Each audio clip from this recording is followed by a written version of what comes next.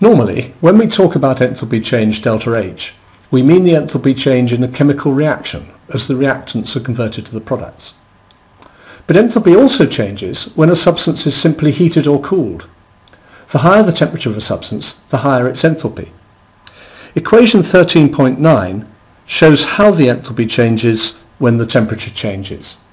And it's illustrated in figure 13.8, which is on page 631.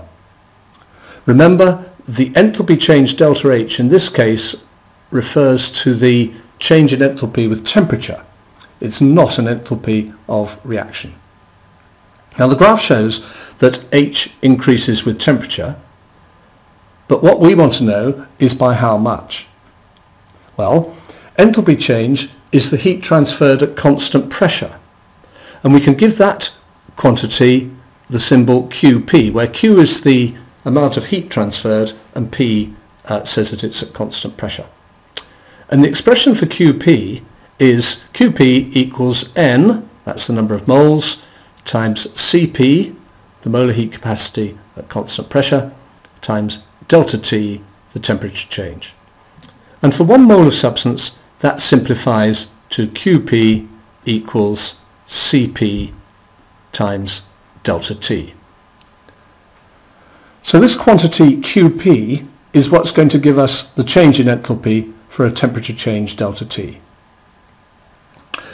So looking at figure 13.8 again, this means that the enthalpy change as you go from temperature T1 to T2, that increase in enthalpy is going to be given by Cp delta T.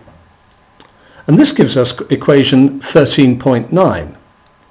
The enthalpy at temperature T2 is the enthalpy at temperature T1 plus Cp times delta T. And this is all for 1 mole.